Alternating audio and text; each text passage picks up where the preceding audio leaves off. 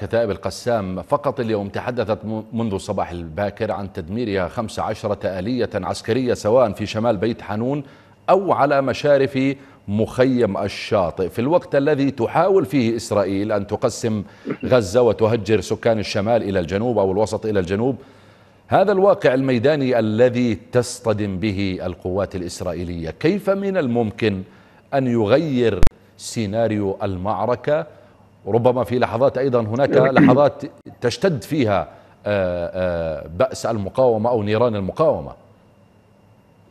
المواجهات مستمرة وإسرائيل نفسها والجنود الإسرائيليين يتحدثون عن ضراوة هذه المقاومة.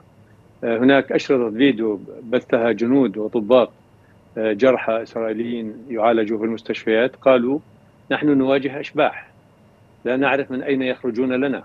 فبالتالي هذا هذا هذه الأشرطة الفيديو أعتقد أنها تدخل الرعب في قلوب الإسرائيليين. المقاومة الفلسطينية برعت حتى الآن في خططها في قدرتها على نصب كمائن للعدو الإسرائيلي. تستغل نقاط قوتها أمام نقاط ضعف العدو. تستغل قواذف ال RPG مع الدبابات والآليات عن مسافات قريبة جدا.